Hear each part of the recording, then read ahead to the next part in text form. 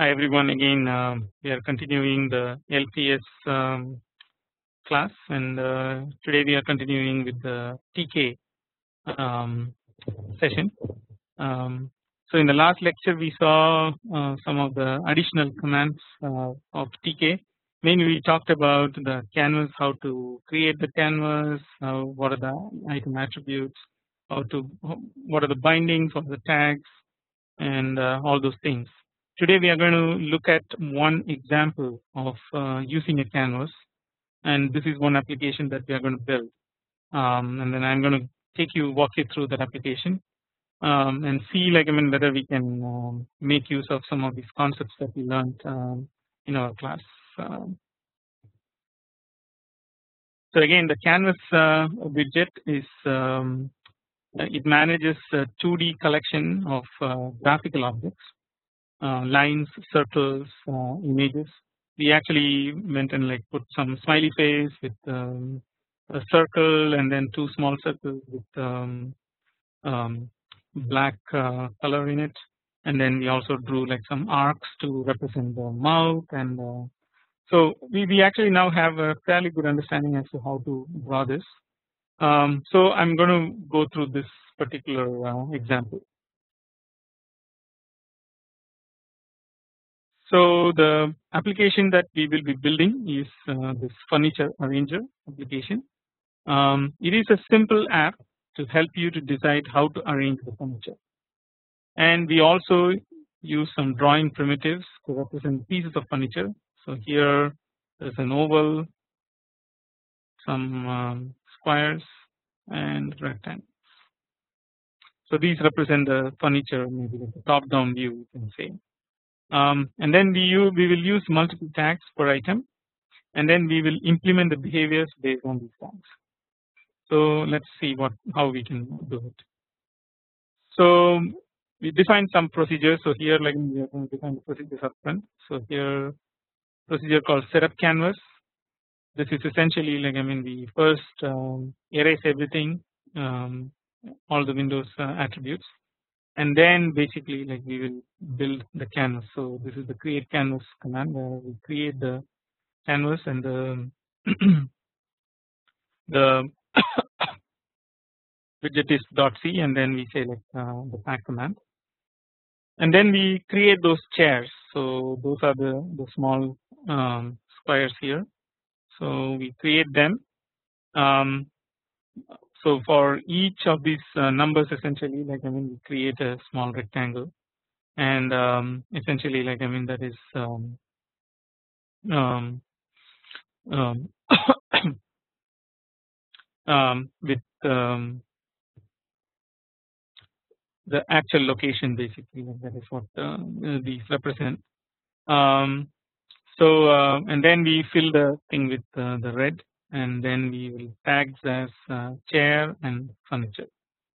So the, as in the furniture big picture this is, this indicates the chair. And then now we will um, set up the chair behavior. For that we use the bind command. And then the bind command is essentially like I mean we say that basically um, we capture the event enter.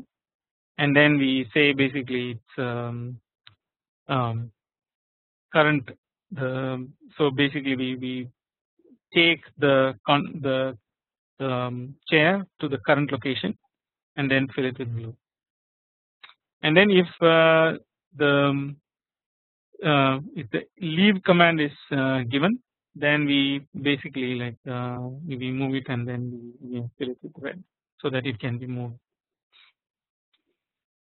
now the second one is we create the table. That's those uh, the oval shape figure here basically.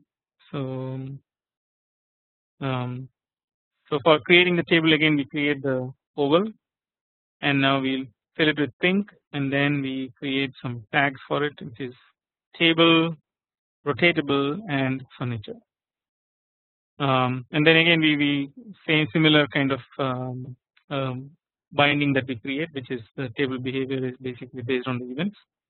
So it turns into sky blue and then back to pink. And then the couch is actually represented as a rectangle in the in this picture.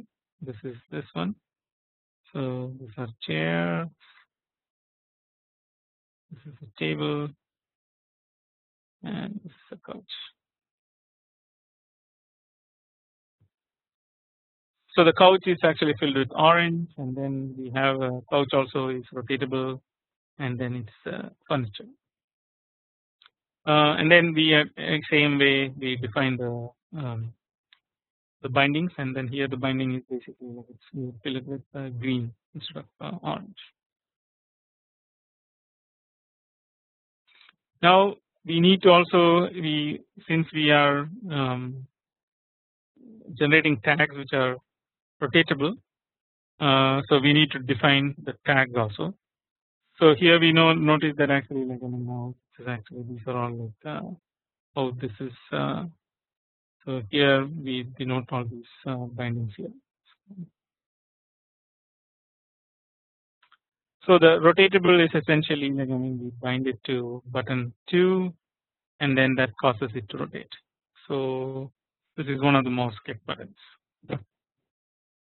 and then we also need to set up the furniture behavior because that is the highest uh, hierarchy uh, highest level of hierarchy in this um, tags. Basically this is all furniture this is furniture and then we looked at chair chair is also furniture. So the way that we define the furniture behavior is the button 1 where we what is the um, current x and current y. Okay so and then we also um, generate the motion which is like once you click on it and then you can grab it to move a particular furniture. That move is represented as um, basically we say that uh, it's move from current to the or basically like I mean the current position is moved to whatever we captured the previous ones the percentage x and percentage y from there to the current x and current y. So we just add that and then that is what your new position is and then that is set as the new uh, current x and current y. So once we define this uh, all these procedures um, now we are ready to actually move and then now um, we also want to do some um, rotate. Uh, so the procedure rotate is essentially like um, we um, find um, what is the element that um, from that window like what is the selection and then we also like set the coordinates to that particular coordinates and then uh, we basically um, um, move it uh, or essentially like find the new coordinates based on this formula basically which is um, we subtract the the original one um, by 2. So now that becomes the the new coordinate essentially by uh, doing some more manipulation and that's the rotate function basically what that means is like you can grab something and then rotate it um, whichever way that you want. So that's what uh, this this, this uh, procedure will do.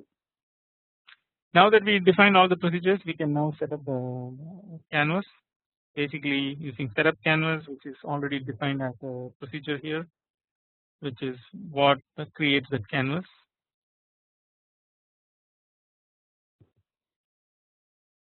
And then we the bind the top level um, window to control uh, L and then that sets up the, uh, the canvas and then we basically put the title as the furniture arranger which is right here. So it's a fairly simple program. I think uh, you sh you should be able to um, um, just um, go through it and understand this.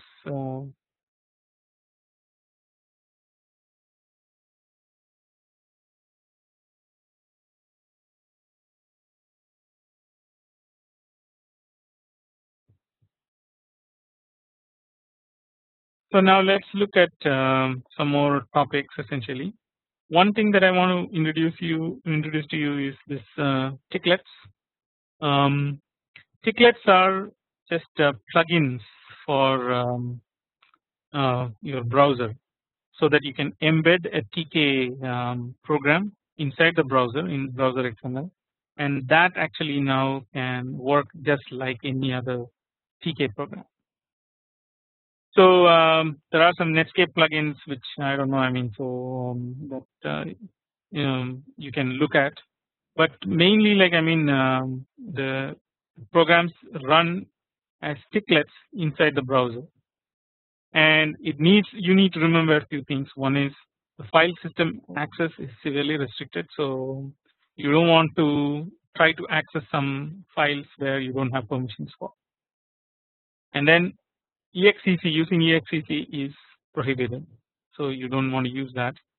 And the network access is also prohibited. So you cannot go and find things in the network. And grabbing display is also prohibited because uh, you don't want to grab display from um, during the execution of the program. So that it will never come back basically. And then um, the direct window manager interaction is also prohibited. So you don't want to interact directly with the window manager to gather anything. And then there are no menu widgets. So as long as you can keep track of this, you can write your own um, um, Tcl or Tclets, um, which is embedded TK programs. Um, and what do you what can you do with Tclets basically like you can design tools like calculator on the fly um, you can do like graphical demonstrations and games design games uh, in the browser in the nets so um, that's about Tclets and um, mainly like I mean for using a Tclet the user needs to have the install the plugin. Um, Tclet file system access is limited to using source and load script directories. So those directories are open for you so that you can source it or and load the those uh, scripts essentially. Uh, and then uh, you have to use open as a read only in the script directory. So you can read from the script directory but not write to it. And then um, using uh, the new command make temp to create write uh, temporary directory. So that's the, bottom line basically like I mean so you can use only like these uh, kind of things and then you cannot get a file listing and there is no standard in no standard or standard in. Some commands have extensions uh, to help like for example the image data can come from a MIME encoded string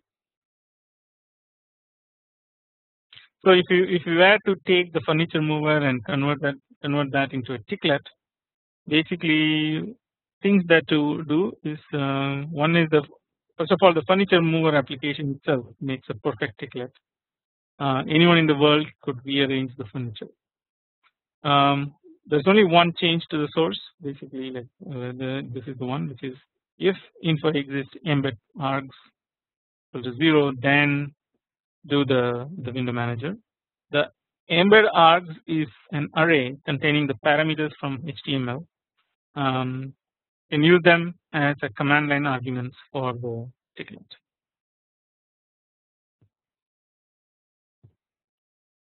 So let's create a HTML page for uh, running this furniture uh, mover.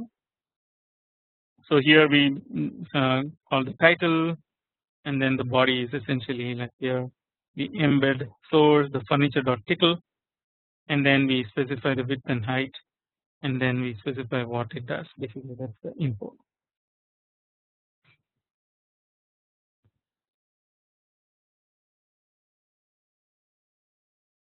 Now we need to place the furniture dot tickle and the furniture dot html in the same directory uh, in the or in, in your area or in the web server and then using the HTML file with uh, even like any browser will show the Tclet essentially if the plugin is ins uh, installed.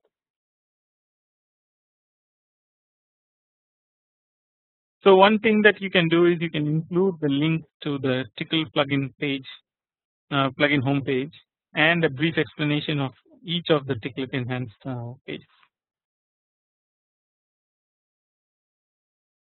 So that's pretty much on the Tclet.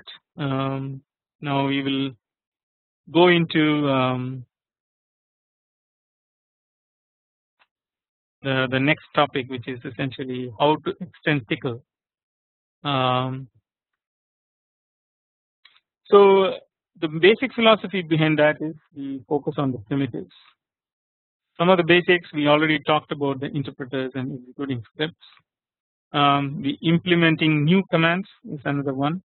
And then the managing packages. How do you do the dynamic loading? And managing results uh, result string which is how do you pass the results? And then the some of the usual library procedures like parsing variables list and hash tables. So in general the philosophy basically um, it's better to write Tcl scripts than C code mainly because it's uh, faster uh, faster development um, also it is higher level and no com uh, compilation so it's more flexible. Um, this section is what we saw when we introduced Tcl in the very early stages why write in C. So if we need to access the hardware um, facilities or any kind of facilities provided by the operating system then we need to use C and then if uh, the program itself is big and basically there's a lot more um, efficiency to be gained then it's better to use C. And uh, the other thing is when the code becomes complex uh, the structure becomes much more important. Uh, so the way that definitely like I mean we need to have some structure how to write various subroutines things like that. Again in that case uh, C will be a better language. So the implementing the new Tcl commands that provide a few orthogonal primitives. Um, there are some uh, Tcl commands that can actually give some extra ones. So um, the low level to provide independent access to all the key features the, with this uh, primitives, and then uh, it's also high level level of high enough high enough level to hide the unimportant details, and that allows an efficient implementation.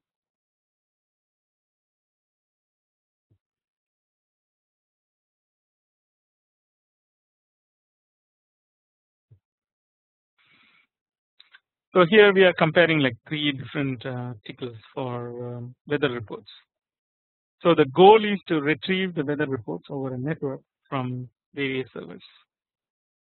So the first Tcl command is to use the retrieve report format and print on the standard output. This is too high level and so it is um, inflexible.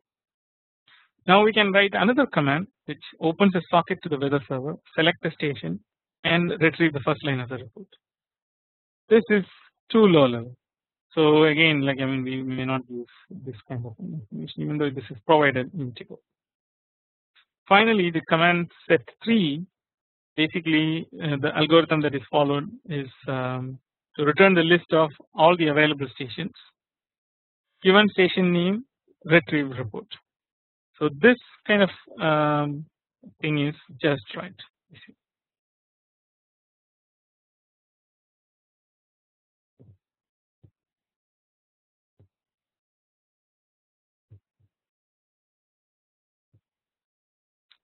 So how do we design uh, new commands essentially? So um, couple of um, um, useful tips basically choose textual names for objects. So dialog.bottom.ok or file tree or standard in and then use the hash tables to map to C structures essentially.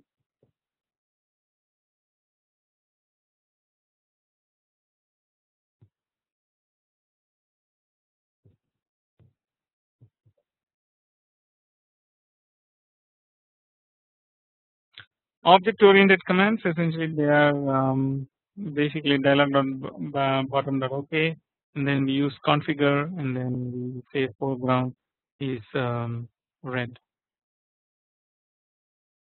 So these kind of object oriented commands are good for small number of well defined objects and doesn't uh, pollute the namespace and allows similar commands for different objects. And then we also have action oriented commands like string compare x and y. This one is useful if um, many objects are um, short-lived for many objects or short-lived objects these commands are useful.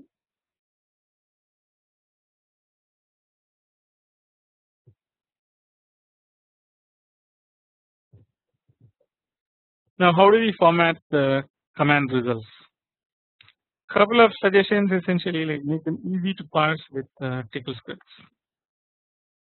So here like temp 53 high 68 low 37 preset 0.02 sky part. Um, so here it's very hard if you are using these numbers. So you got to convert them over to symbolic wherever possible. So we don't use 53, 68, 37.02 and 7.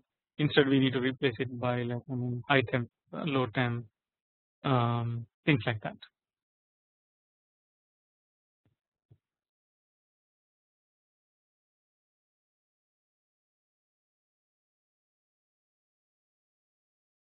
And then we can also use the package prefixes in command names uh, and global variables to distinguish what where exactly it is coming from.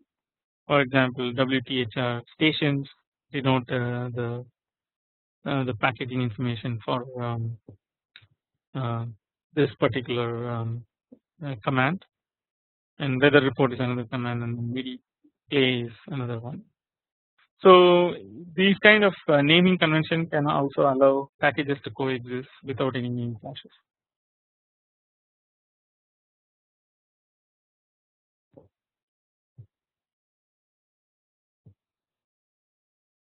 So now let's uh, talk about the interpreters. Um, again, the um, Tcl interp structure encapsulates the execution state captures the variables, the commands implemented in C, the Tcl procedures, and then the execution stack. Um, we can have many interpreters in a single application, but just only one is active sometimes. And creating and deleting interpreters basically in Tcl we can do like a star interrupt which creates an inter interpreter with the interp interp command. And then we can assign the interp to the Tcl create interp this is another way to create one. And then where we can also delete it by just doing a Tcl delete interp command.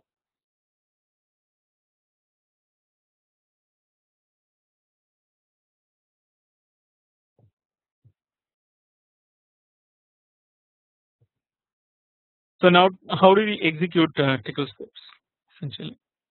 So here um, we have this um, variable declared and then we can use Tcl eval inter with set a equal to 1 this is one way to execute the Tcl script.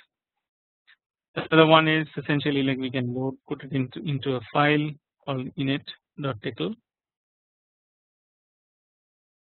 and then we can just say Tcl eval file interp and then that file name and then finally we can also uh, specify in a different way which is using the bar eval command and then here we give like the interp set a and 1 as uh, three four different objects. The code itself contains uh, whether there is a success or failure and uh, it comes to like Tcl ok uh, if it is a normal completion and then generates Tcl error if uh, any error occurred uh, error is occurred during the um, execution.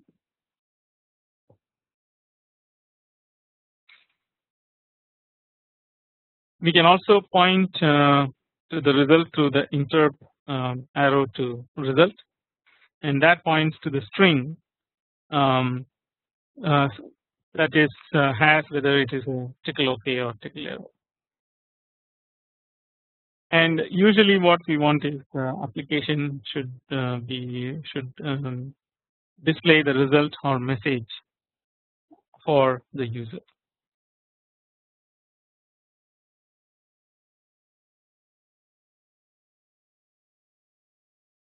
Now just to another thing is where do these uh, scripts coming from? Um, read from the standard input. Um, I think like I mean you can answer all these questions like how um, how do we read from the standard input, uh, read from the script file, associate X events, wait for events, invoke associated scripts, and then uh, embed it uh, in C code. So here is uh, one way to create new commands. Um, so we call this EQ command as an integer and here we specify like client data Tcl interrupt interpreter and um, some argc and uh, character argv. So if the argc is uh, not equal to 3 then um, basically um, we just throw the result as wrong number of arguments and then return the Tcl error.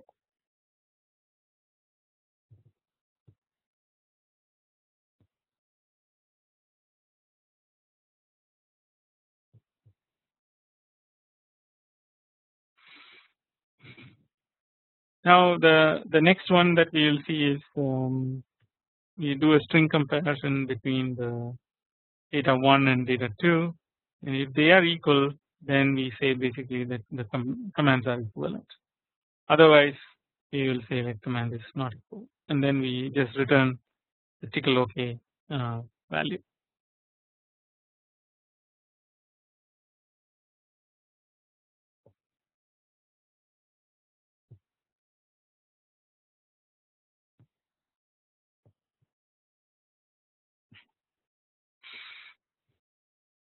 So now um, to register with interpreter um, we need to do the Tcl create command in interpreter EQ EQ command client data and null. So once we register then the EQ command will be called whenever any EQ is invoked in the inter, uh, interpreter. So we just kind of a binding EQ to EQ command so that uh, if you just type EQ the interpreter knows that it needs to call the command. And we can also delete the command through this uh, another function which is uh, Tcl delete command. So the Tcl create command creates the the shortcut and then Tcl delete command will delete that.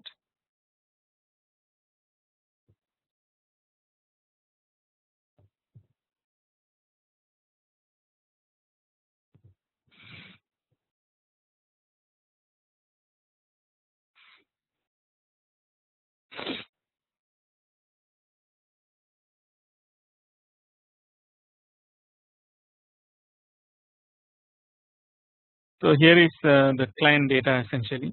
Um, so the create command we create that client data and then we say like eq command client data client data.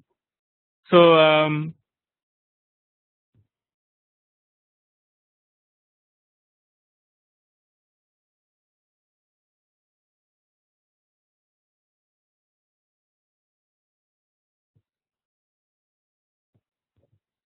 Usually we pass only one word value to the command procedures and their callbacks but the client data here is usually a pointer to a data structure manipulated by the procedure. So we can pass the pointers in and out of the client data type basically um, for example like Tcl create demo client data and then gizmo pointer. Uh, the gizmo pointer we can define gizmo star and then client data. So essentially it lets uh, many object commands share one command block. So what are the conventions for defining packages in Tcl? Um, so one is the goal is to make it easy to improve and use Tcl, eh, Tcl extensions. So we can use the package prefixes to prevent the name conflicts. So we basically like kind of uh, pick a short prefix for a packet for example the RDB is read and then we use in all global names essentially. So C procedure will have RDB open, uh, C variable will have RDB normal cuts things like that and then Tcl will have RDB quick. So this way like I mean if we follow this definite um, uh, prefixes uh, then we can be successful in uh, using the Tcl ticket.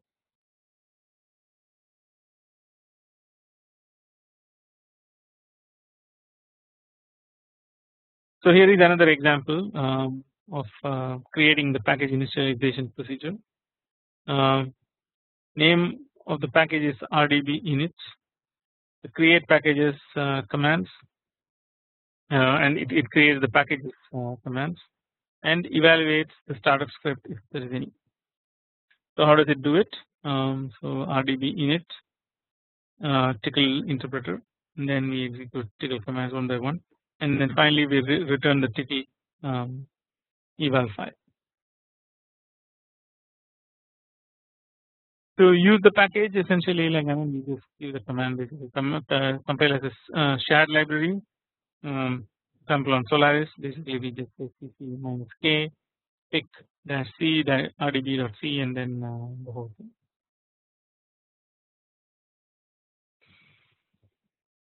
We can also dynamically load um, programs but mostly into tclsh or wish. These are the two shells that can load the programs. Uh, and then Tcl will call the rdb init to initialize uh, the package. The command for uh, dynamically loading the thing is basically load rdb.so and then uh, leave it as rdb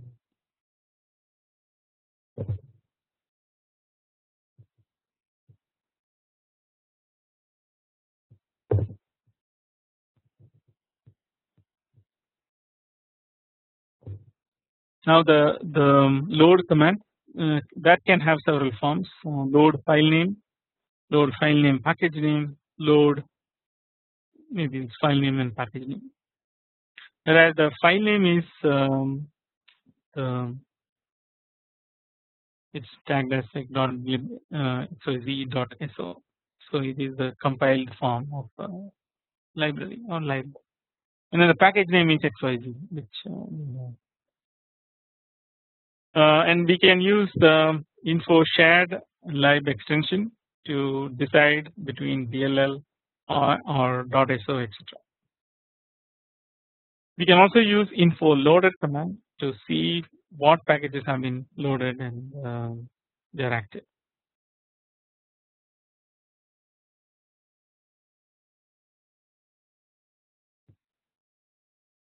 We can also um, load packages uh, statically that is Tcl static package Tcl interpreter character what is the character and then uh, proc um, we basically the package init proc we just initialize here.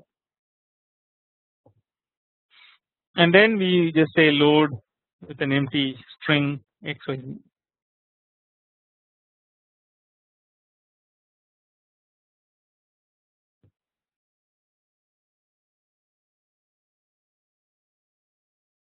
So managing the result string. So we need conventions for the interpreter result or basically how the result is uh, getting. Um, so one thing is it permits results of any length.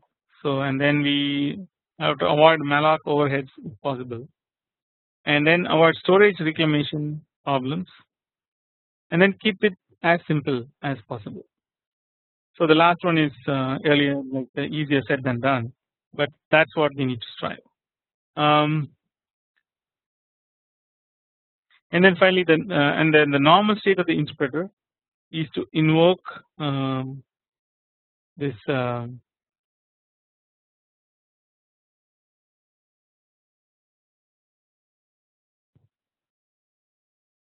the interp interpreter essentially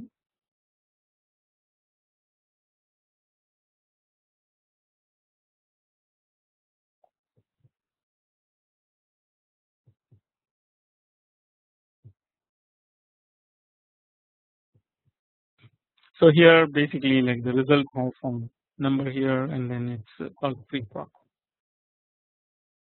Okay.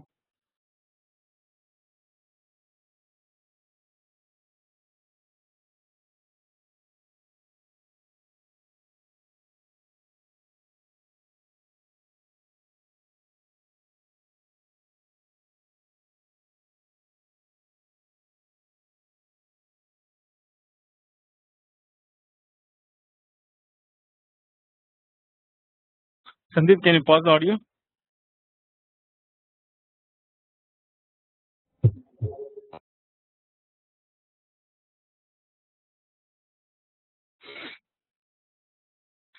So as I mentioned um, we can register uh, the with the interpreter and then we can use the command uh, as the, without uh, pointing to any other place. And then um, um, for the client data essentially like um, so we created this. And then um, we can actually cast uh, pointers in and out of uh, client data uh, type by using these kind of commands. Actually like the create command where you're inside that and with a gizmo pointer. And then we de define the gizmo pointer as outside with the uh, gizmo as a, its a class. And then it's uh, also belongs to the client data. So the client data is usually a pointer to the data structure manipulated by the procedure so that's why we can do all these kind of things and then um,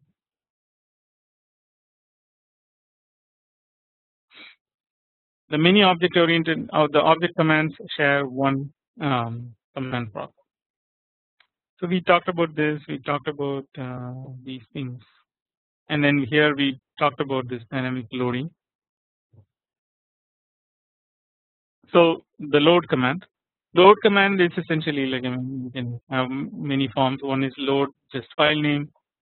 We can also specify file name and then the package name or load everything in the package name, which is we denote the scopes here. Um,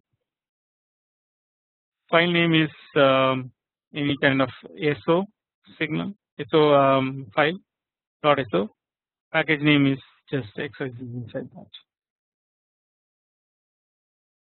You can also in, use uh, info shared live extension for um, to decide between uh, DLL, SO, etc. We can also use info loaded to see which package uh, packages are loaded in the system.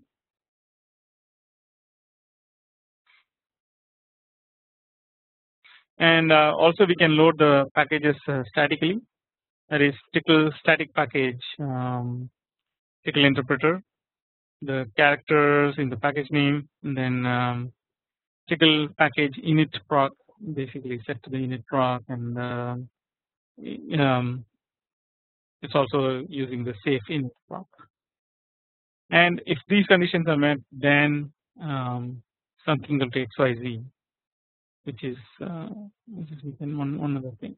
And then the dynamic loading is always preferred in with many tools and many uh, areas. We saw this essentially like I mean so we need conventions for the interpreter followed by interpreter arrow result. Um, here we want to avoid mal malloc uh, overhead. So malloc is a C function to allocate memory, and uh, you don't want to use that if possible. And then we can avoid the storage reclamation problems that is the leaks essentially. Um, and then we want to keep the name as simple as possible. So here one uh, quick example. Um,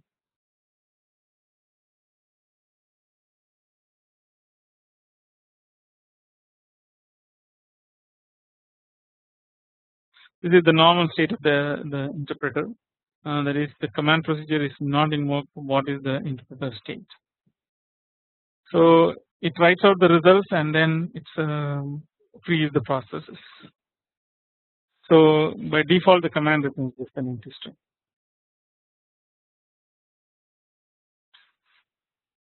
So a static semi-static result is uh, option one where we can um, write out saying that uh, the result is 0 and um, that's about it.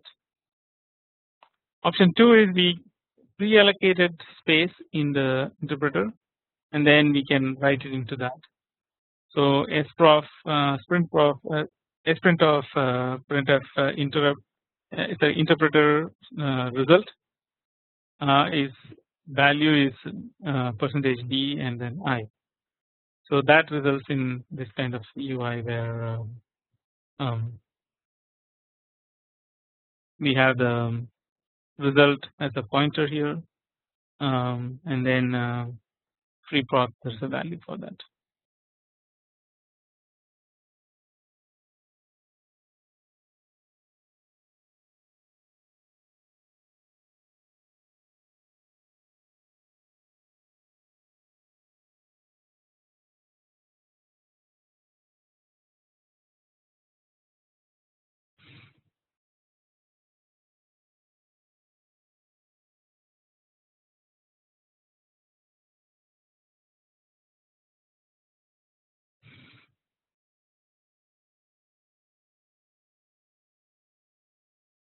We went through all these things now. Um,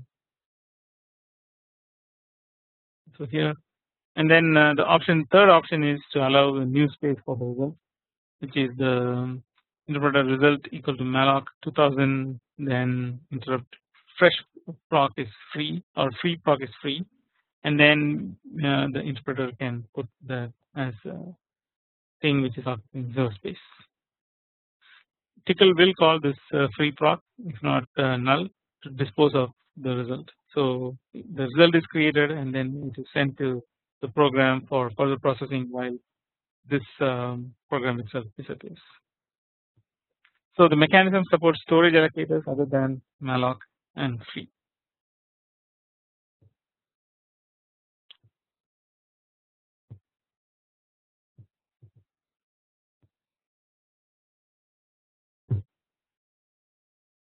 So how do we manage uh, results? Essentially like we can use the library procedures. Tcl result uh, set result is uh, interpreted in string and then replaces the old value.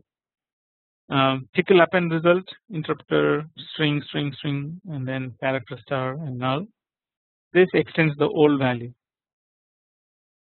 Tcl um, append element and then interpreter and string extends the old value as a list and then finally there is a reset result which will just uh, clear the old value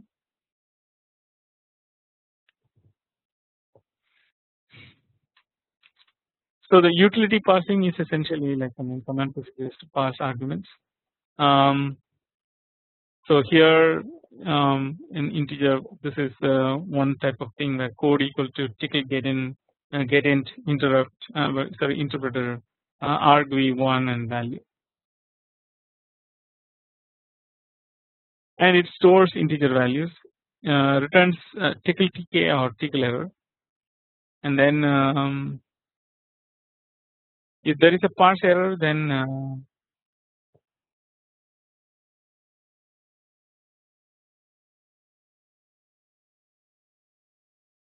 you can get like um, refund or uh, so in uh, with our company.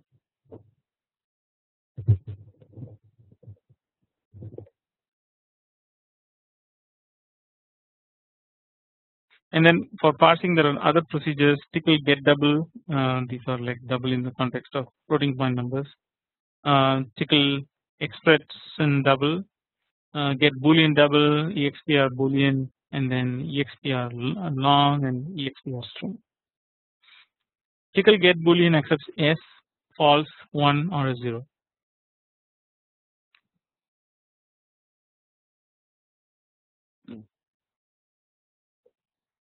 EXPR is basically like uh, variations of uh, interpreter argument as an expression. So some more um, uh, things on the variables. Read write and unset. Um, so how do we do it is basically like we set the value and then uh, value equal to tcl get var interpreter a whatever the value from uh, that you get it and then um, we just set the var to uh, a a to the interpreter and then we unset var any of the other variables already there.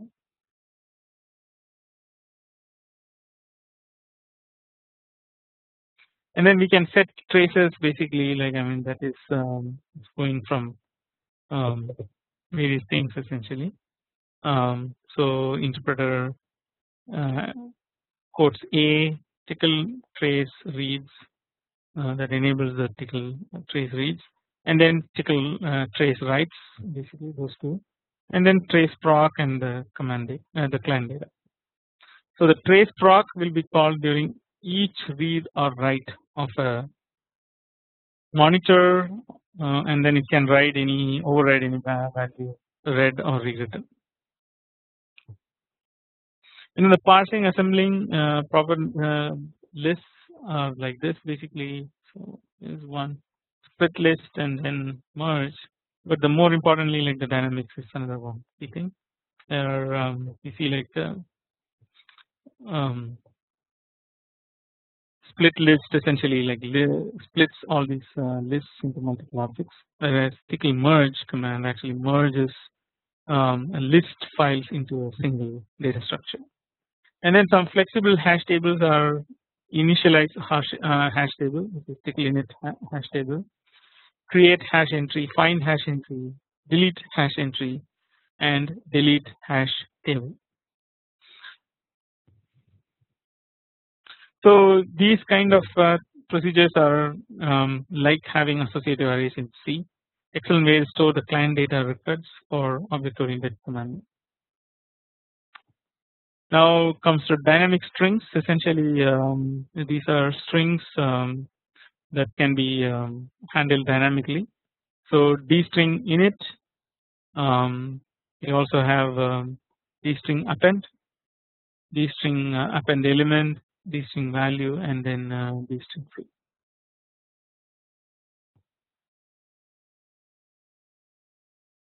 So dynamic string uh, strings actually grow efficiently without bounds. Um, this is like a good string class in C++ and used internally by Tcl for result management etc. I think I'm going to stop at this point. We will continue extending the Tcl. Um, actually, like I, will just summarize this one section and then uh, we'll see the, the the next section in the next class. So finally, on the sum on summary, essentially like interfaces to C are fairly simple. Tcl was designed to make this true, so it has to be simple. And then um, we want to focus on primitives. Use the Tcl scripts to compose fancy features.